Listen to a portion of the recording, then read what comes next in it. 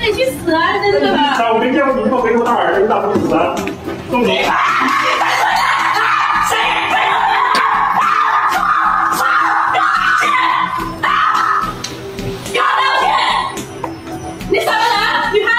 这个视频大家看了吧？啊，我也看了啊，来说一说自己的看法啊。这两天啊，我们看到这个视频在网上刷爆了，起因是因为什么呢？一个外卖小哥要进店，可能人家呢这个前台嫌外卖小哥就不让他进去，然后两个人呢。就发生了口角，你知道吧？然后这个女的就说：“外卖小哥，你怎么不去死啊？对不对？”然后外卖小哥呢，可能也比较犀利啊，然后就回了一句：“你那么肥头大耳的，你怎么不去死啊？”结果这女的突然就破防了，然后拿了一个水杯，然后啪扔过去：“你把我的脸说谁肥头大耳？你说说他啊！说打针，你配？”就就就差不多就这么一个视频啊。然后我看完以后。呃，说我的看法啊，因为大家都知道，呃，这个事儿张司令还是比较有发言权的啊。因为我是什么呢？二三百斤减下来的，是吧？虽然说现在一百多斤啊，一百八九十斤啊，但曾经到达过那个高度嘛，对不对？我更有资格说这个事儿啊，因为我呢是啥呢？比这个女生更要胖。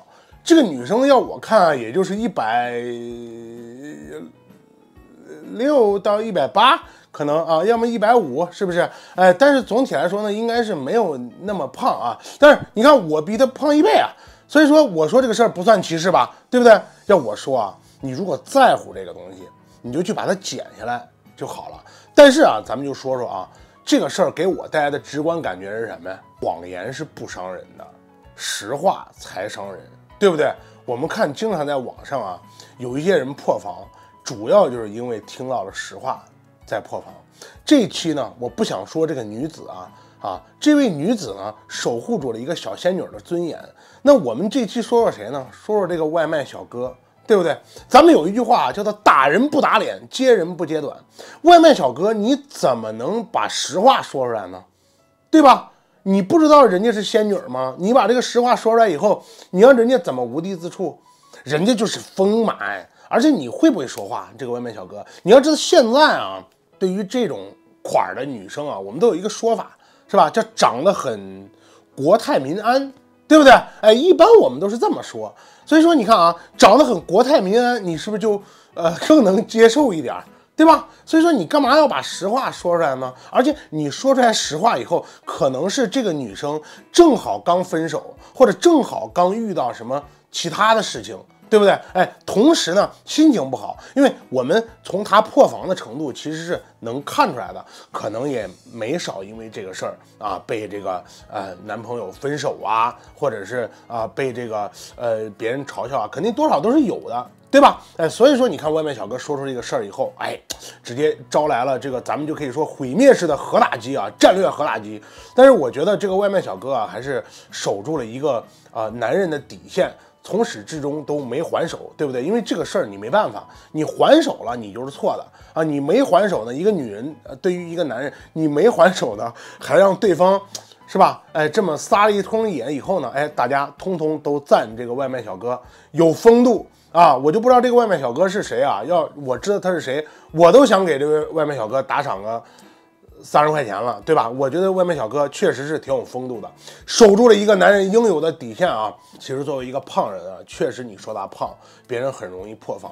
很多人说那不对呀，张司令，那你以前二三百斤的时候你也没破防啊？那跟我能一样吗？对不对？我脸皮多厚啊！我你看平时你们骂我胖也好，骂我啥也好，以前你看我脸比现在圆一倍，大家看我冰岛的视频，那脸都是这样的，嗯，都是这样的，是吧？那。我不说什么呀，很多人就当着面骂我。其实他们这个还是没有经过网络喷子的洗礼。你看，像我，我经受了太多网络喷子洗礼了。别人骂我什么的都有，肥头大耳啊，肥的像个猪一样啊，肥的跟吃泔水了一样，是不是？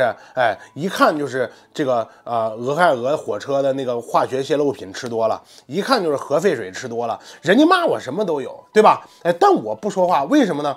因为谁骂你，谁急了。说明谁破防了，对不对？他为啥这么攻击你？那因为你说了他不爱听的话。那我们就再回到之前的那个话，叫什么呢？叫做这谎言从来都不是伤人的，真相才最伤人。那你说这个女的为啥暴走呢？就是因为外卖小哥无意中把实话说了嘛，对吧？但是我个人觉得啊，外卖小哥毕竟跟你不认识啊，这个事儿话谁说最伤人？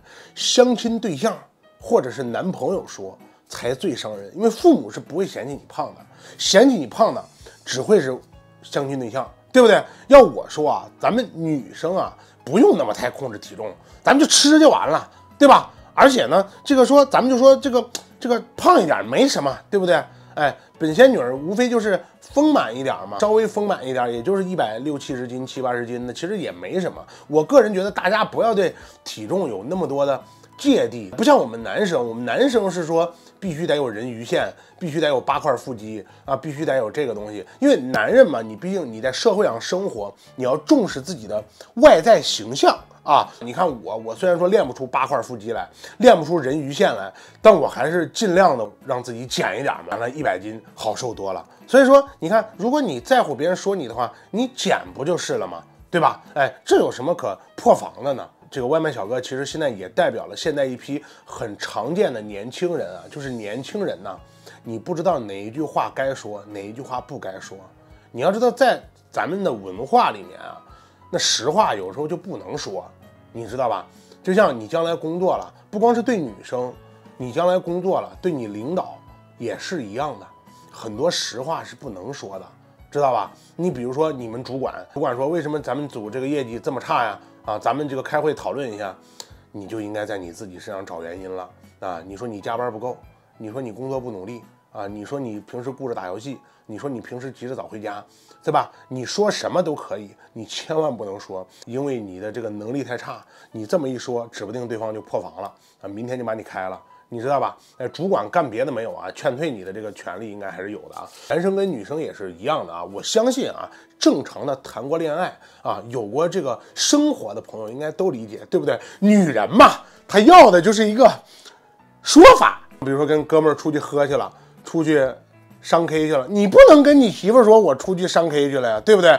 你得说，我出去是为了谈工作，我为了这个家有多不容易，我在外面当孙子，我在外面太苦了。你得跟他这么说，人家心里才会好受。